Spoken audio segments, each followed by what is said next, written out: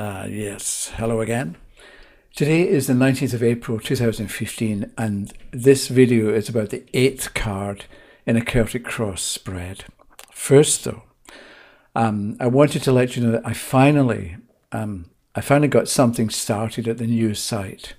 The URL is www, I'll put it on screen, but it's um, dynamic-tarot.com. And there's some content there uh, there are three articles and one discussion article that it happens to be about the Four of Cups. So this, what, what I've got so far at dynamictarot.com is stage one, because I'm now setting up that site as a membership site where um, it's free to join and you've got your own login and password and so on. And it gives you access to more detailed and maybe more in-depth or more complete information about the tarot, how to read it. There's going to be text, audio files, video files. And the idea is that if you if you join and become a member, then you get more complete information. It's not that I'm going to be holding back bits and pieces from these YouTube videos. It's just that um, at the site, I'll have time and opportunity to give more examples, right? So in a YouTube video, I might talk, I've got 15 minutes or so in a video, or, um, so I may talk about a reverse card and give a, a couple of examples. But at the site, I can give maybe five or six examples and um, a longer explanation, or I can tie in information about reverse cards with other material. Um, and that's what you get if you happen to, or if you decide to join the site. You just need to give a valid email address and it's done. And at the same time, if you have questions or comments or um, that you'd like me to deal with at the new uh, at the new site, maybe a particular topic, or you've had a problem or a question that you've got, let me know and I'll try to include it somewhere um, at the new site. Meanwhile, back at the Celtic Cross, we're now at the eighth position. So last week I said that the seventh card goes to the right of the spread and it's like the bottom card in a new column. And so that's the seventh card. The eighth card goes above the seventh and it shows, generally speaking, the influence of other people. You may find other more complex, more complicated, slightly different meanings for the eighth position at sites or in blogs. But um, and if you want my opinion about what that might mean or how good it is, leave a comment or email me. But I think the simplest meaning and the one we should stick with is that this card shows the influence of other people. So a card in this position is going to be good or bad, generally speaking, depending on the question right? And the people it represents will be different depending on the question that has been asked, right? So if somebody asks about a promotion, you're going to, the influence of other people will be different, or you're dealing with different people in that position than you are for, let's say, asking about a marriage or about a father-child relationship, for instance. So somebody might ask you about a relationship or a marriage, and this this the card in the eighth position can show the influence of family members or in-laws, since they're the, the logical influence or logical other people whose influence um, can be helpful to the questioner or it can be a hindrance. So by looking at the eighth card, let's say as in-laws or other people involved with the relationship, the questioner gets an idea of how much help these other people are going to be or how much of a hindrance they're going to be. So then you know whether to involve them in the relationship or involve them in the project, or whether you're best to not involve them or shut them out or not really pay much attention to their opinion about what about what you're doing. So let's say you get the question is tell me about my marriage and you get the three of cups here in the eighth position Three of Cups, friendly, sociable. So the Three of Cups here, social engagements or interacting with other people, that's going to be enjoyable. You give to them, they give to you. And it's like everybody has a good time with the Three of Cups there. So make room for socializing in the marriage, right, or in the relationship. On the other hand, if you get the Eight of Swords here in the eighth position, don't expect relaxing evenings evenings with other people, at least for a while, because you'll feel trapped. The Eight of Swords, or the people you come into contact are going to feel trapped, and all they want to do is complain all night about their problems, and it's going to be a waste of your time, and they'll drag you down. So,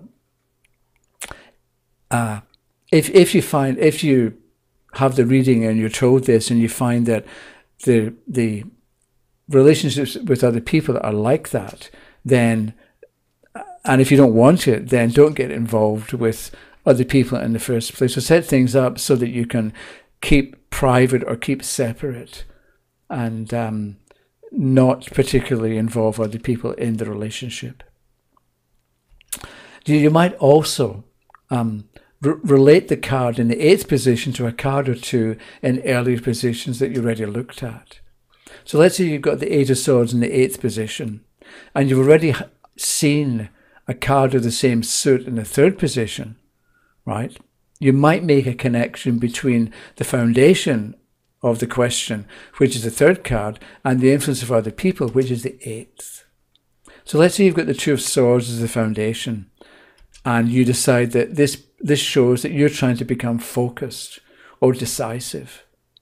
Then, if you get the Eight of the Swords, the same suit in the house of other, or in the, the position of other people, watch out for other people because they're, they're going to try and get you back into old habits that you're trying to give up. You want to, they'll encourage you to be indecisive or to not make up your mind, or they're not going to be supportive of your efforts to, to stick to your decisions, as shown by the Two of Swords as the foundation. So you, you look at the, the card in the in this case the card of the foundation and compare it with the eighth with the eighth position and and make some sense of it well let's say you've got the six of swords in the fifth position of what may come and you like the look of a change and a move to a new position and you want it but with the Eight of Swords, the with the Eight of Swords in the eighth position, other people are going to get in your way, right? So don't confide in them. Don't share your plans about what you want for an improvement with other people. They'll just talk about the bad stuff that can happen or what can go wrong rather than what can go right. And or maybe they'll resent you because you're trying to make progress. At the same time, and this is a general point about readings, if you notice um, or if you remember to compare positions during a reading, then talk about it and make the connection or join the meanings of the two positions for the benefit of the questioner. However, if you don't notice or you don't remember at the time of the reading, if you don't think, and, and if you think of it later, you're not supposed to beat yourself up or wish you had said it during the reading. And you're not supposed to decide that you aren't a good reader because you left out something that's that now seems obvious and important. Instead, if you didn't say it at the time, then in some way you weren't supposed to say it. Maybe because it wouldn't have been particularly true, in which case you can safely leave it out. Or maybe because the questioner would have argued with you about it and it would have spoiled the reading. Because you know, you can say something and you can touch a nerve and people can react negatively. And maybe you making that connection would have touched a nerve for the person. Or maybe you, you would have you would have made this connection, but the person, the questioner, would have become confused or for some reason just didn't want to know. So generally, when you're thinking about readings after you've done them, think about readings after you've done them rather than assume that you didn't do a very good one or that you should have done this, you should have done that. Because you can have had good reasons why you didn't see it at the time. So trust yourself. So let's say we change the question and think about the eighth card with a question about a promotion. Then the card, the influence of other people, will give information about other people involved with the promotion. Right? So it's not your next door neighbor unless your next door neighbour happens to be part of the team deciding if you get the job. Because there's a logic to um, who these other people are who have influence, and it depends on the question. So if it's a general question about the next six months, then it could be your next door neighbour because you see your next door neighbour. But if it's a more specialised question, you think about what makes sense and relate the card to those people or those types of people who would logically fit into the answer. So the, with the, the, the job about promotion, the eighth position could show your rivals who are also going after this same job or the other candidates involved in the promotion. And so the, the, the card in the eighth position can give you an idea of what these other people are like, right? Their strengths or weaknesses, or how much of a threat they are to you, or to what extent they're going to be able to stop you getting the job, assuming that you want it. So generally, again, I think it's a good idea to tell the questioner what each position will, will reveal or is expected to show as you lay the cards. Right, so let's say we stick with the promotion question. So you shuffle and lay the first card face down, and you might say, This card shows the atmosphere surrounding the question. So it's going to give us an idea about the promotion and maybe what the interviewers are looking for or the kind of person they expect to be hiring. So if you're that type of person, then it's, you know, a good a good indication that you've got a good chance of getting the job. So that when you get to the eighth position, Maybe you say this shows the influence of other people. So we'll use it, the card here, to judge the quality of your rivals for the job. But at that point, the question might say, um, I've got an ally on the interviewing team, but I'm not sure how much I can trust this person or believe this person. So you revise things and you say, okay, in that case, we'll look at the eighth card showing the influence of other people. And we're going to look at it to see how strong or how weak your ally on the committee is, how, how much he or she is going to be able to promote your application. This, this type of meaning is maybe more specific than you would normally use, but it makes sense for that question and that questioner right? So let's say you th- that's what you're going to make the eighth card show. So with the sun upright here, the ally is going to help a lot. But let's say you get the devil in the eighth position, then something else is going on. And maybe there are politics at play in the decision about who gets the job. So don't depend on the ally doing what they say they will, because they can't, or maybe because they've got some other agenda. So the devil in the eighth position is a bit of a warning to maybe if you're depending 100% on this person, figure out some other way so you're not totally dependent on that one individual.